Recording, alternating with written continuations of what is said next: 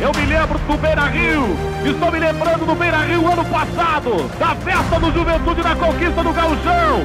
Também em junho, o Juventude sendo campeão gaúcho. O Juventude conquistando o título inédito. Um ano depois é o Maracanã que lhe abre as portas e que lhe recebe para a conquista da Copa do Brasil. Por isso que daqui para frente essa contagem regressiva será cada vez mais emocionante.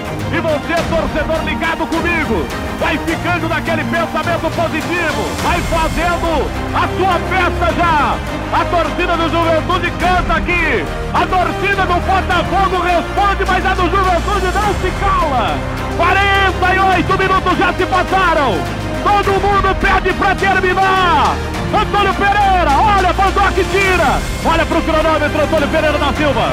A bola sobra para César Prates, vai o Botafogo. 48 minutos e 20. 48 minutos e 20, aparece Flávio Corta. Terminou!